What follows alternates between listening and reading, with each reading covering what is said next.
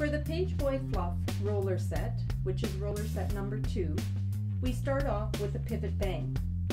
If you need to review how to perform a pivot bang, you can watch video D.24. Just a reminder, our pivot bang has our four sections. These rollers are all positioned half base. The first three rollers are clipped at the back and the last roller in the pivot is clipped at the point.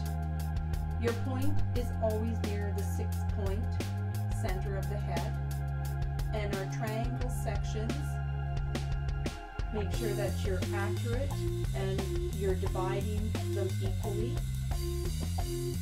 This half, these half rollers are used in the middle because of the diameter of the roller that I'm using. I use a larger diameter roller to match the length of my mannequin and therefore I have long rollers on the outside and two half-size rollers of the same color on the inside and I'm using the charcoal. So it's long, half size, half size, long. After you have finished the pivot, then you just simply have to put in two working parts down the center panel. And the working parts should be the width of your length of your roller. So use that as a guide. The subsections are the diameter of the roller that you're drop of the head, to find that, just place your comb on top of the head and where the comb lifts away, leaves the head, that's where the drop of the head is. Once we've got our rollers there, and just want to mention that you might have the three or four, and you could use the red rollers for this roller set and you could also use silver rollers for this roller set. I'm using charcoal just because of the length but do feel free to use any size roller that you have. Um, your results I'm sure will be good. So to start the side we just look at how far down we want our line to be using the diameter of the roller. So we know our line has to be around here and then the length of the roller to determine where we want to start our line. We're just going to go on a diagonal. So create a diagonal line and make sure that it's the width of your diameter of your roller. And we're going to place an on-base roller in here. This roller set has sectioning instructions in handout D9 with images and it also will have a contract. The assignment will be D9. So if you're looking for the Page Boy Fluff assignment and handout, look for D9 contract and D9 handout. We're going to clip at the back so an on-base roller, notice the position of the roller, it's on the diagonal and it's clipped at the back. Then we're going to position another roller. You'll notice that we've carved out the side panel and if you need refresher on how to carve out the side panel, there is a video for that as well. And you'll notice that just like in roller set number one, we're going to use our roller to see where we start our part and we're going to go to half of this first roller that we put in. That's also what we did in set number one. So remember, having an organized system helps us to have speed and be able to repeat with accuracy and good results some styling techniques for clients. So we're just going to roll that up. And again, remember the head curves here. So make sure your roller, if it doesn't look exactly right, take it out, put it in again and follow the curve of the head. So now once we've got these two rollers in, where these two rollers meet and the eye, we need to look at that and we're going to put a C shaping from where they meet towards the eye. The open end of the C shaping is going to be at the face, at the hairline, the closed end is going to be where these two rollers meet. So we just want to put our shaping in there. I'm just going to add a little bit of moisture. I'm using Joico's styling gel. It's a um, it's a it's a good gel, um, very flexible, so I find it helpful for roller sets. So I'm just going to put the C shaping in here. So remember, start your C shaping at the closed end and work towards your open end. Once you have your C shaping in there, carve out. I'm just going to turn her a little bit. It's a bit awkward for me. Hoping you can still see everything there. That C shaping again now that I've got her at the right angle. Okay, so then carve out, line it up with her eye, ribbon the hair, and these are flare pin curls. So we're just going to clip with just the tip of the clip and hold them in a semi stand-up position. And remember the angle, okay? We have to make sure we're coming from the point where these two rollers meet.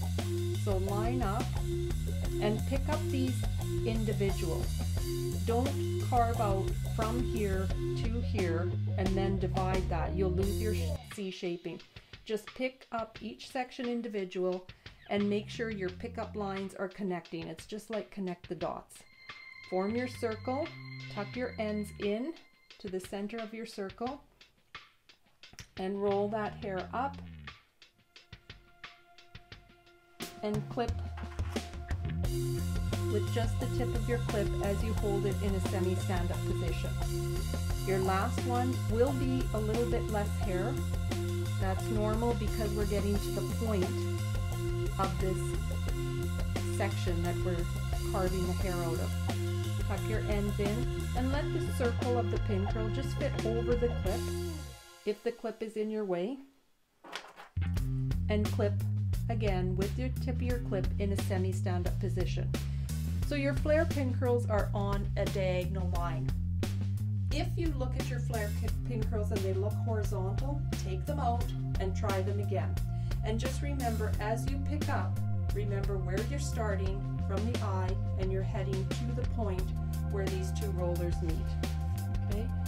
And keep your comb on a diagonal as you pick up.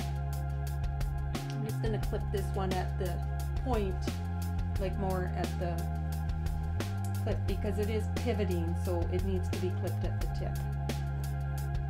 Okay, so now our next division is going to be to take the hair at half of the ear. Carve that, make a division there. This hair we're going to do a reverse pin curl in. And this hair we're going to divide from the crown to the jaw.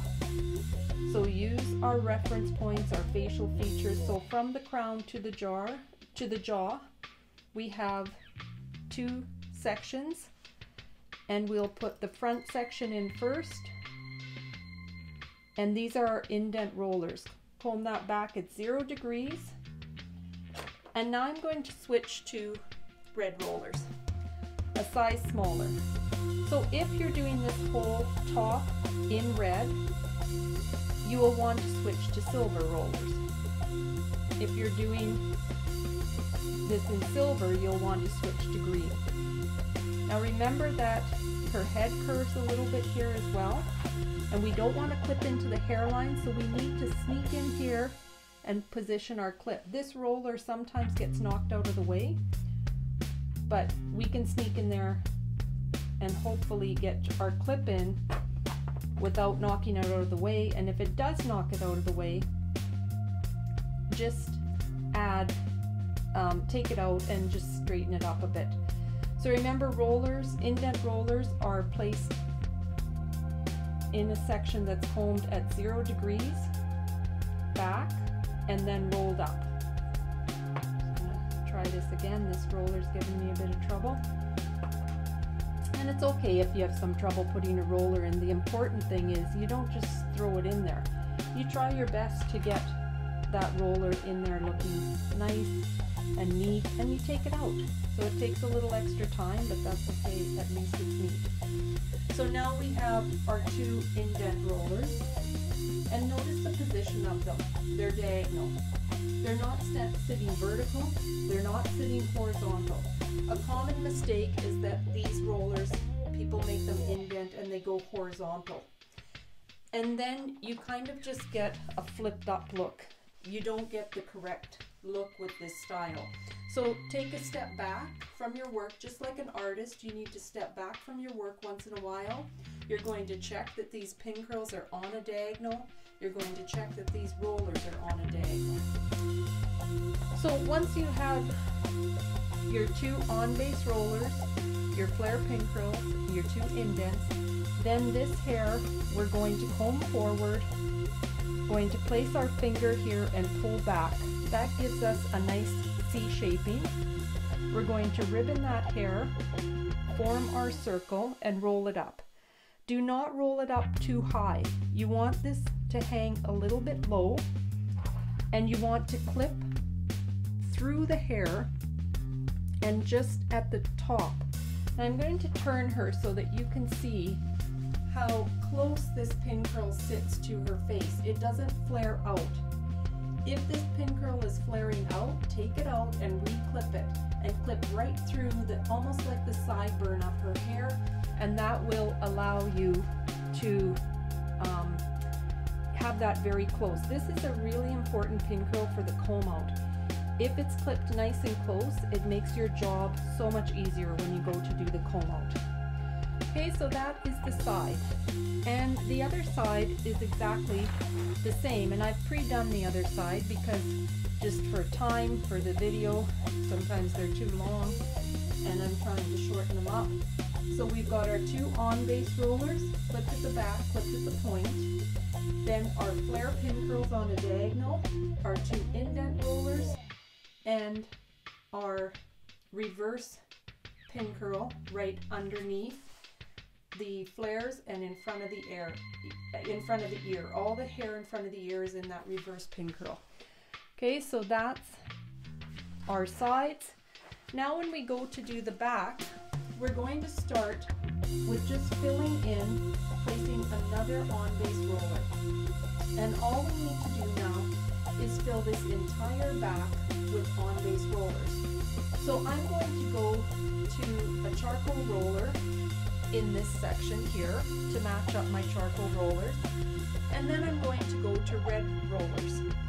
And I'm just going to put a long, a short, a long, and then I'm going to reverse it and put a short,